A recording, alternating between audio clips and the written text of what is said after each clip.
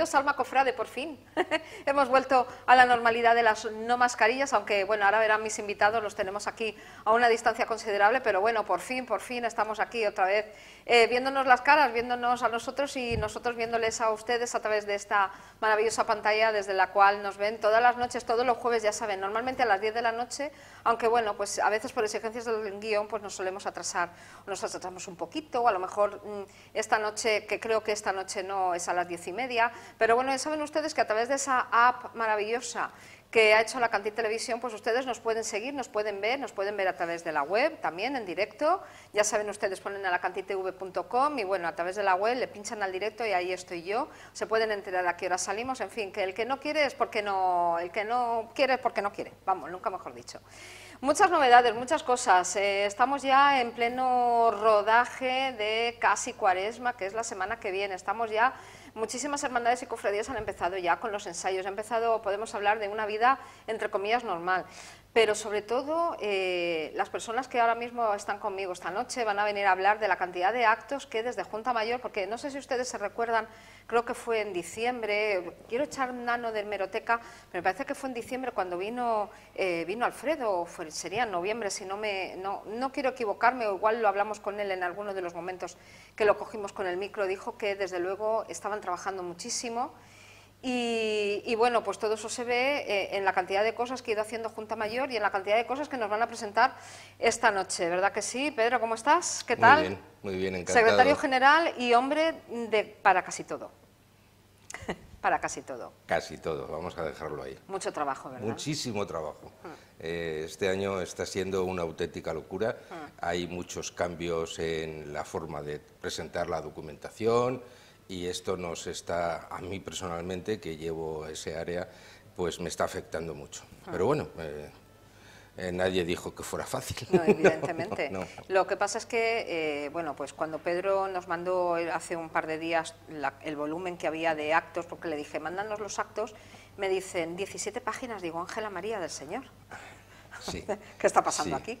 Eh, todas las hermandades se han puesto en marcha. Es una barbaridad. Eh, bueno, eh, al final nosotros tenemos una hoja en tipo calendario en la que reflejamos el Via Crucis, actos institucionales y los actos que organiza Junta Mayor.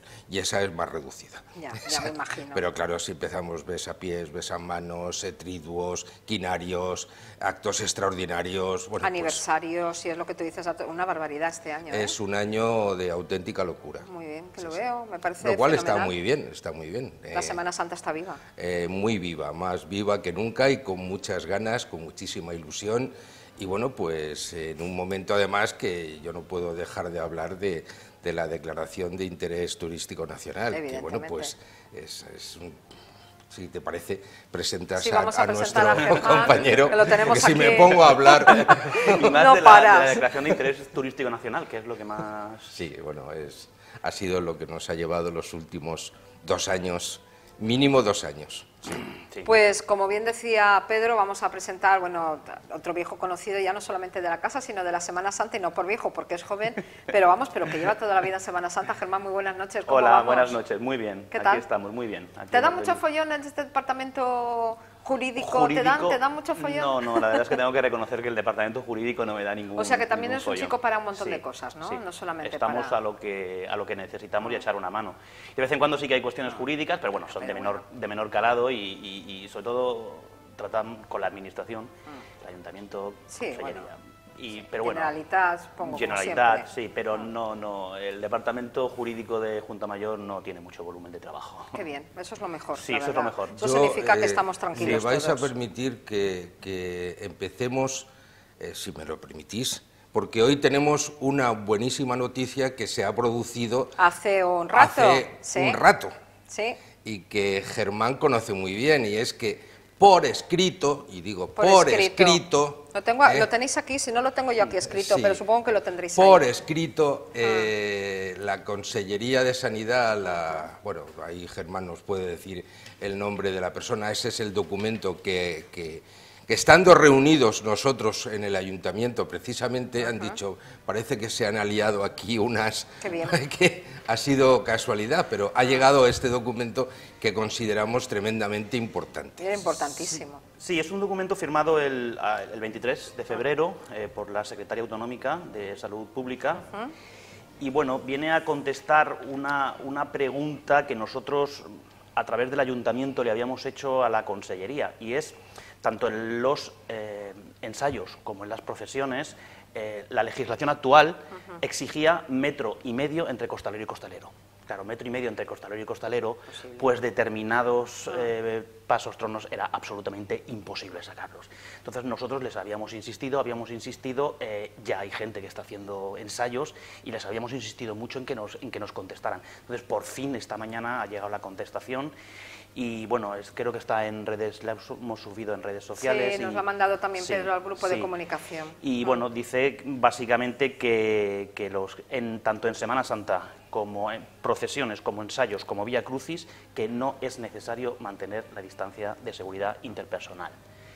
Eh, por supuesto, las demás normas eh, siguen en vigentes, pero la única es que no es necesario mantener el metro y medio entre costalero y costalero con lo cual pues a los costaleros se les el trabajo se les soluciona de una manera ah. bastante bastante si no tendrían que ir la mayoría de tronos a ruedas. Pues sí. Pues sí. Porque no, no pues sí. y los tronos que, que, pudieran ir a ruedas por, por, por el firme. Porque determinados tronos pues por mucho que les pongan ruedas no pueden ir a ruedas por el firme. Entonces eh, hasta ahora se habían dictado una serie de normas eh, que, bueno, pues incluso verbalmente se había dicho que no era necesario lo del metro y medio. Pero, claro, hay que entender a, los técnicos municipales en este caso que eh, esto no había cambiado en ningún momento en la normativa. Le decíamos, es que ya no hace falta tener metro y medio. Decía, pero es que no lo pone en ningún sitio que, no, haga falta. Mm. Entonces, por eso el motivo de alegría de hoy es porque expresamente dice que no es necesaria mantener la distancia interpersonal. O sea, mm, afortunadamente. Gracias a Dios. Y no solo en ensayos, ensayos, via crucis y dice profesiones.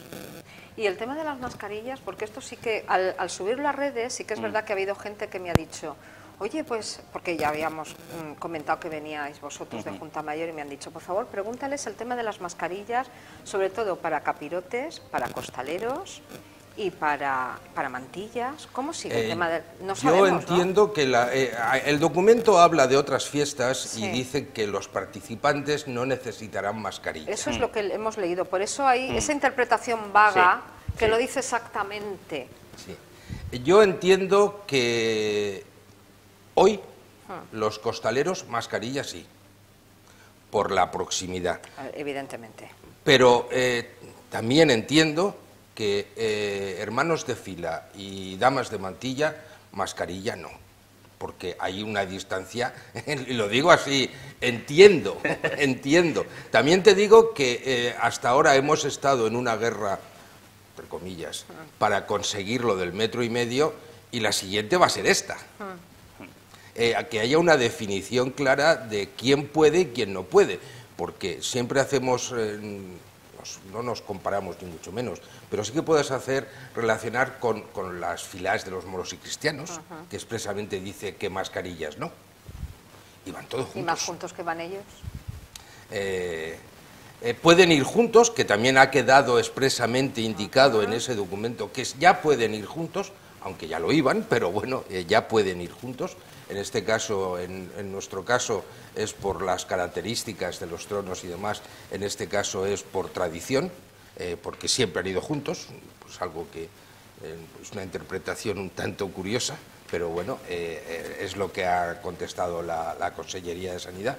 Y como no dice nada más de las mascarillas, mm, vamos a luchar para que sea un tema que por lo menos puedan elegir las hermandades porque eh, yo, yo creo que los costaleros, y a lo mejor Germán no coincide conmigo, deben de llevar mascarilla. También hay otro aspecto que, es importante.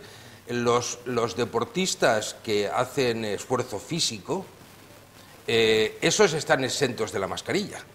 Correcto. Pero desde el principio, además. Sí, sí.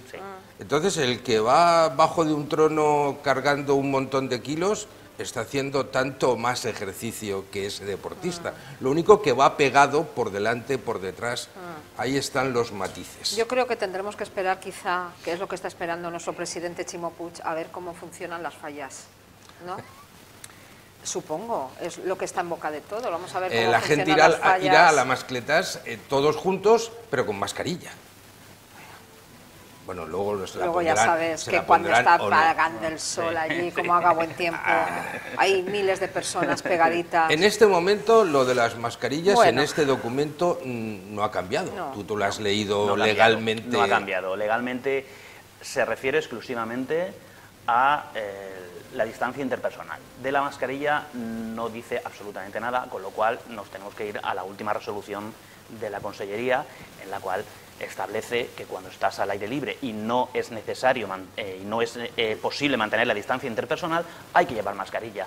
Con lo cual yo entiendo que existe la obligación de tanto mantilla- eh, damas de mantilla como nazarenos eh, deben llevar mascarilla. A día de hoy. En función pero- de la distancia. Si es que, sí, bueno, también en función de la distancia, pero es. a- cofradía, la distancia entre nazarenos es de más Ah, de metro y es medio. correcto. Con lo cual, y además van tapados con el... mm, van tapados, claro, no, no creo que. Y creo que estamos todos vacunados. Yo no sé si se va a pedir pasaporte COVID. No vamos a... Bueno, ahora ya no hace falta Es que pedir ya no No, hace falta. el no, pasaporte, el pasaporte ni la COVID ya no- vacunación, ni ya nada. es verdad, ya, no hace falta. Ya no es necesario, falta. ya no es necesario. Bueno, al Bueno, final pues nos encontramos en un momento en el que hemos tenido un logro muy importante bien, muy por el que importante. estábamos, eh, el ayuntamiento estaba eh, muy preocupado porque claro, la respuesta que se le estaba dando a hermandades y cofradías era la de distancia interpersonal, entonces bueno, pues estábamos ahí en una dinámica curiosa.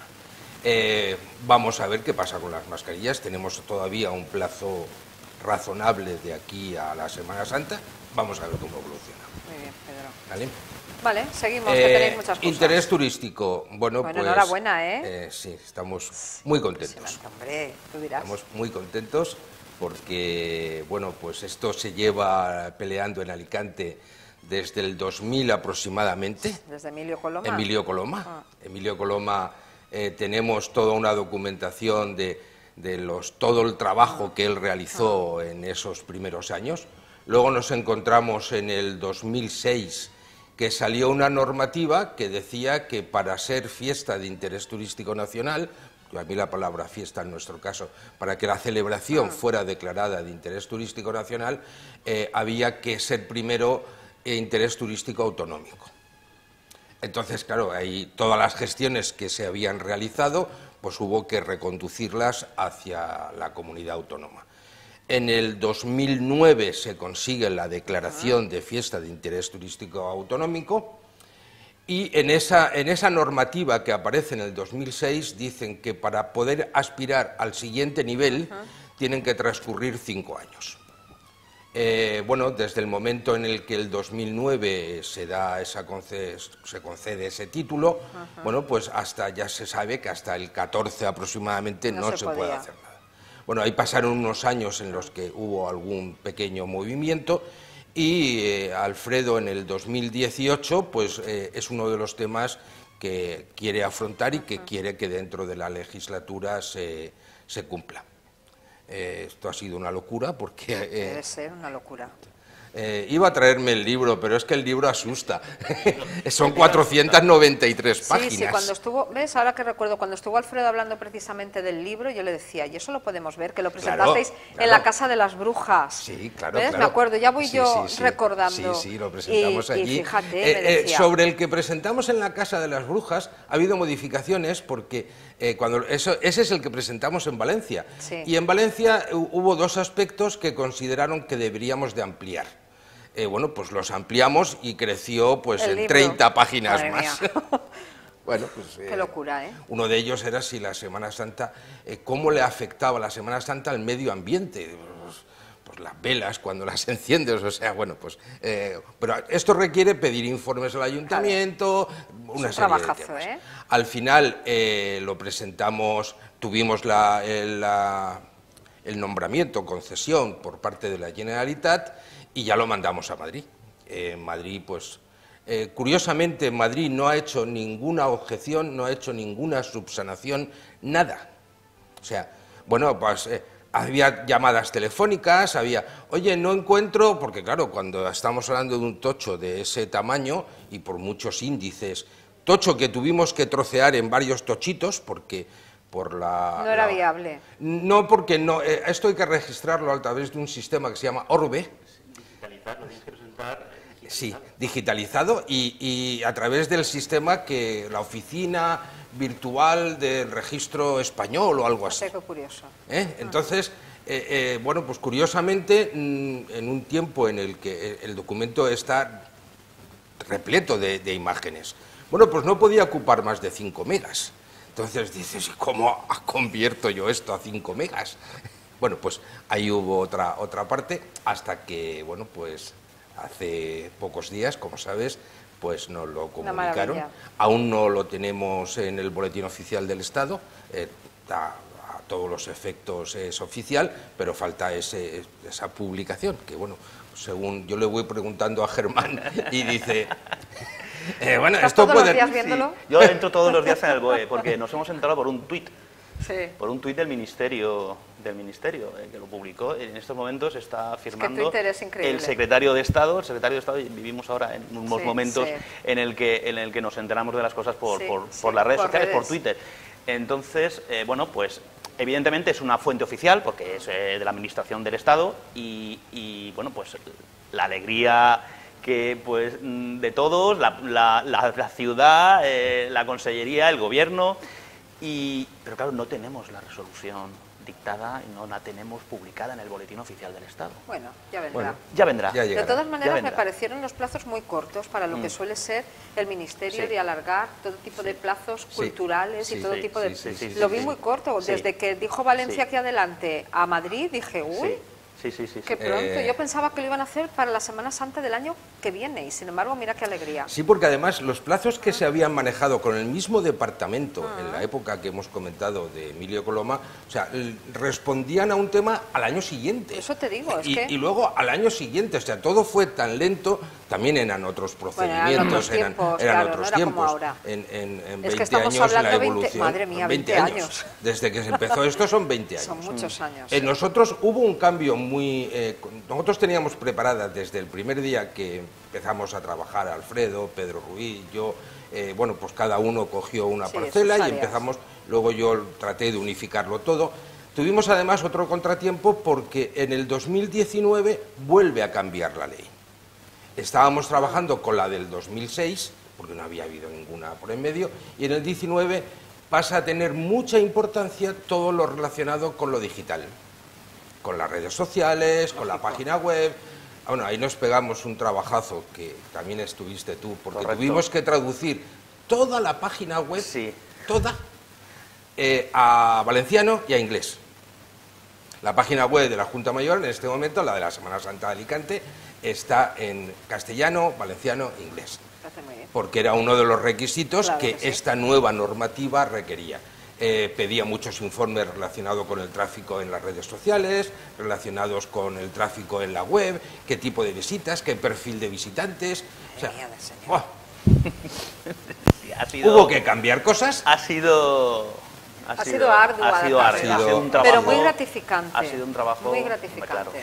Sí, yo creo que, bueno, pues yo además, eh, no sé si Alfredo me engañó o no, porque íbamos a la Generalitat a, presentar precisamente eh, todas nuestras solicitudes relacionadas con, el COVID. Mañana por la mañana vamos a entregar esto eh, a la casa de, las, casa de las Brujas, pues eh, allí lo registramos y demás. Vale, vale, pues. Y me dice, con corbata. Para ir a registrar esto con corbata, se lo dije a mi mujer. Y digo. No sé yo, no sé yo, esto qué raro lo veo. Eh, bueno, uno para venir a la tele se puede poner, pero para ir a registrar el documento. Yo si te veo entrar aquí con corbata me asustas, ¿eh? Digo, ay Dios mío, ¿dónde va? ¿Dónde va? El caso es que llegamos allí y, en la puerta ya Alfredo me dice, lee. Y es la, el, en este caso creo que era un, WhatsApp, que el director, no, el, secretario autonómico de turismo le había mandado a Alfredo, eh, creo que adjuntaba el tuit que tú has comentado. Y entonces, claro, Allí llegó el secretario autonómico, llegó el director general, llegó la Me prensa encanta. y dice, claro, con corbata. Con razón. ¡Qué había- calor! corbata. Llegó Esmeralda y dije, ¿por qué quiero yo que venga Esmeralda con todo lo que yo la quiero? Pero Esmeralda, ¿para O qué? sea, que te hicieron una encerrona, ¿te Yo creo que sí. cuenta, ¿no? Yo, creo- yo no sé, ellos dicen que tampoco lo sabían, pero no, no me lo acabo de creer. Alfredo dice, yo me lo imaginaba. Pero bueno, eh, a mí reconozco que fue una...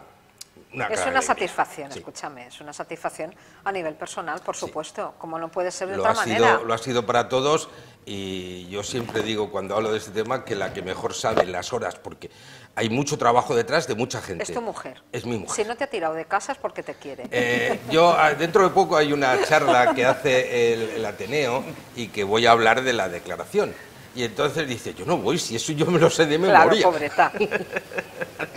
voy a ir, pero bueno, esto es un poco folclórico, pero bueno, ha sido, creo que es una gran noticia, es, nos pilló en un momento en el que tuvimos que cambiar el cartel, porque lo teníamos ya Claro. impreso, porque en todas partes ponía autonómico. Bueno, Bueno, pues, muy bien, pero todo en la vida que sea esto, sí.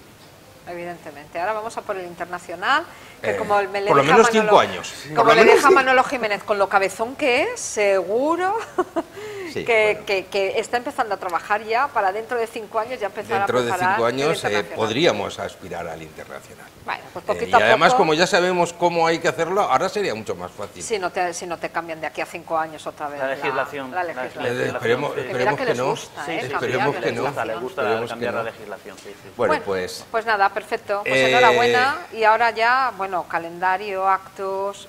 El sábado tenemos ya. a eso empieza. Eso se lo sabe. ¿Tenemos algo, algo más que no sean calendario y actos, Pedro, antes de empezar Eh, con cartel. cartel?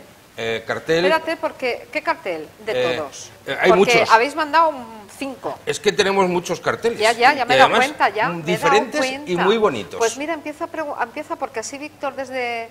Como aún tenemos unos minutitos antes de irnos a, allá, a, a A- esto, a publicidad. publicidad, eh, Víctor, por favor, mira a ver qué cartel. ¿Cuál- este es el de. Este es el, el- el ¿Queréis que empecemos por.? Bien, bien.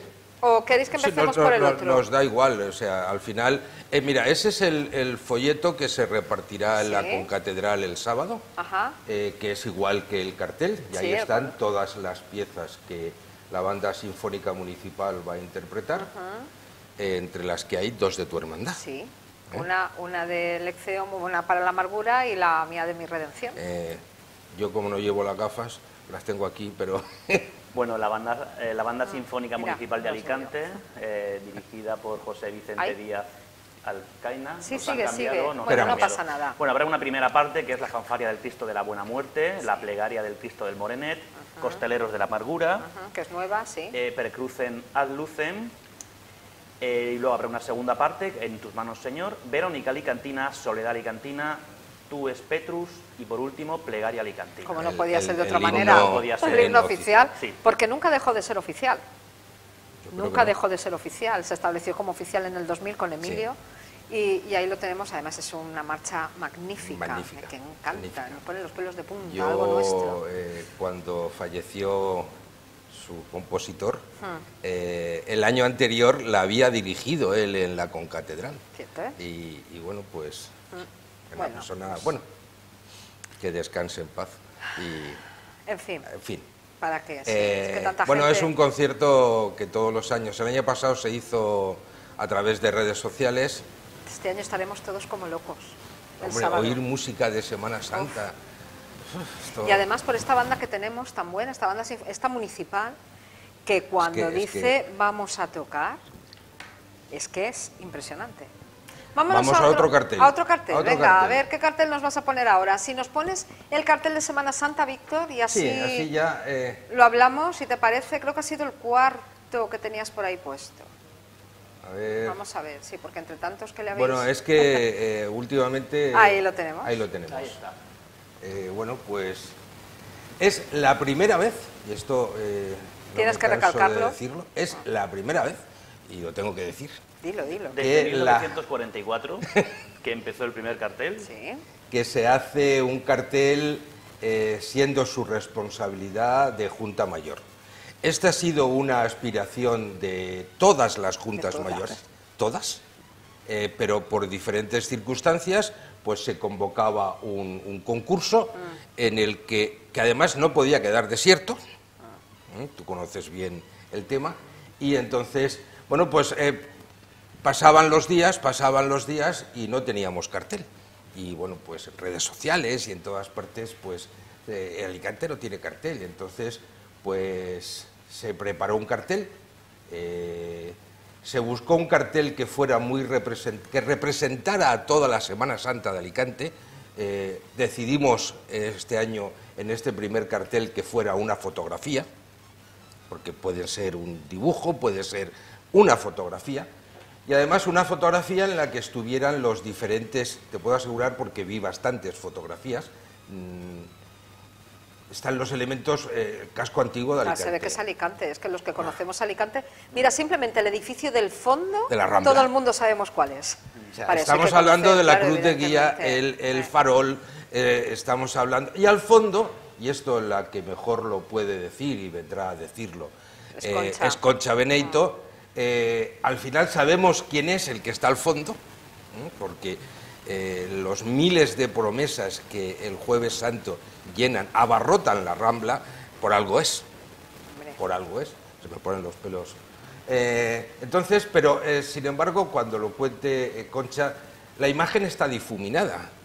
Y está difuminada a cosa hecha porque ah. al final lo que se busca también es que cada uno coloques la imagen de, a la que tiene devoción, a la que sigue, porque puede ser, es una cruz, un Cristo, pero bueno, mm, sabemos cuál es. Pero Sí, pero cada cual en su imaginación. Pero permite también que su imaginación sitúe sobre, sobre esa cruz esa imagen de tu Cristo que te representa. Eh, bueno, eh, es una fotografía, la verdad, muy bonita y había que darle, lógicamente, en blanco y negro, como la mayoría de las que hace Concha, o yo creo que todas, pero habría que darle un punto de, color y el amarillo un punto de luz Claro, porque el amarillo, si te das cuenta, es el mismo que tiene el escudo de la Junta Mayor y el mismo que tiene el escudo del Ayuntamiento de Alicante. Ya lo dije cuando lo vi, que mm, lo vi porque, no sé, alguien me lo pasaría, y antes de verlo en redes, y dije, por fin, por fin, por fin. tenemos el cartel que llevábamos años buscando, un cartel de Alicante para la Semana Santa de Alicante. Es un cartel precioso. Es que por más que te diga, me parece un cartel precioso, porque me eh. gusta tanto el juego el negro con el amarillo y me gusta tanto esa fotografía que ya lo dije en redes y os lo digo en persona, me parece un cartel precioso. Vamos a huir ya de que, hemos tenido carteles muy buenos y muy bonitos. Carteles muy bonitos, pero, es que este cartel, este cartel este cartel, igual que nosotros vemos por redes y demás los carteles de otras Semanas Santas, y uno nos gusta. Que luego los subimos, ¿os gusta no sé qué? Yo creo el, que follón que ha habido con el del cachorro de Sevilla. Desde luego que, tenía esos colores y bueno. Yo creo que en el resto de España, cuando vean el cartel de Alicante, dirán qué bonito el cartel de Alicante. Elegante, súper Es un cartel que me gusta muchísimo, de verdad. Bueno, pues eh, lo, como yo suelo decir, nosotros en, todo lo que vamos haciendo estamos poniendo el listón muy alto. Entonces, este primer cartel lo pues, veremos el año que viene. El año que viene estaremos aquí, te diré, Pedro. ya veremos el año que viene, porque hemos hecho un pedazo de cartel Impresionante. Que, entonces, pues claro... Es de los que se quedan en casa puestos. Sí, eh, el ayuntamiento hace una tirada en, en, A, en A3 le hemos pedido otra tirada en, A4, porque hay gente que ha dicho, lo quiero, no, lo tenéis más pequeñito. Yo, lo quiero para tenerlo en casa, te lo estoy diciendo. es un cartel para tener en eh, casa. pero el A3 a veces es, demasiado grande. Y si el A3 lo reduces... Lo hemos hecho en A0 también, que es el que, el que presentamos en el ayuntamiento, y es impresionante, o sea, es que lo pones en un sitio grande y es que te llena un, espacio inmenso, precioso. Eh, bueno, pues quedaría muy bien. Quedaría, muy bonito. Eh, entonces, bueno, pues tuvimos que encargar unos cuantos en A4, pero con papel de buen gramaje y conservando la calidad, porque ya ha habido mucha gente que ha dicho, quiero uno, quiero uno, y no quiero una fotocopia, ni no quiero uno con calidad. Quiero un cartel. ¿Eh? Entonces, pues si os parece... cuenta con él. Seguimos con, con, pero carteles. No, mira, vamos, sí, vamos a seguir con carteles, pero nos vamos a ir a publicidad y y venimos enseguida porque siguen quedando muchas cosas de las que.